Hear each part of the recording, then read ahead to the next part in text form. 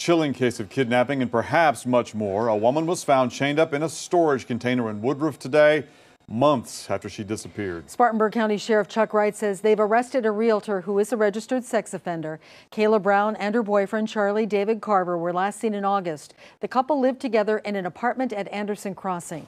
Tonight, Sheriff Chuck Wright says David Carver is still missing. WYFF News 4's Aly Myles joins us live where deputies found Kala Brown earlier today. Aly, still so much law enforcement out there so much, Michael, and so many more expected tomorrow as well. If you take a look behind me, we're actually starting to see a few of them leaving right now, now that that sun is going down. This is Wofford Road in Woodruff. According to the sheriff, this is where tips led them this morning, and when they arrived, they heard Brown banging from inside a padlock container. That's when the sheriff says they found her, quote, chained like a dog. The person in custody, this is Todd Kohlhepp.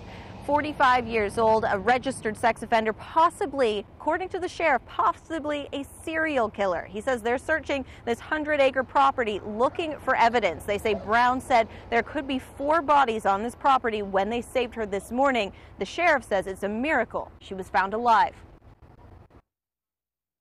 The investigators found them because they were like six or seven down here. We were going to search the property, um, and, and it was pretty emotional uh, to say the least, when, when, when she was found, especially, you know, when she was chained like a dog. She had a chain around her neck. You know, and I'm, I'm telling you, it's only by God's grace we found that, that, that little girl alive now.